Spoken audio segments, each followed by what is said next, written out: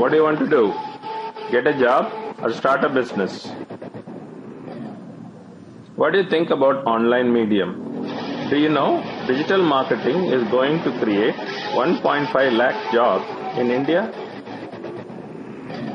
EDI Tamil Nadu is launching a course in digital marketing from September 3rd onward. Do walk into EDI Guindy.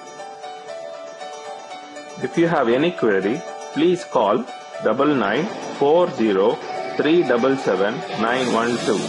Repeat double nine four zero three double seven nine one two. Thank you.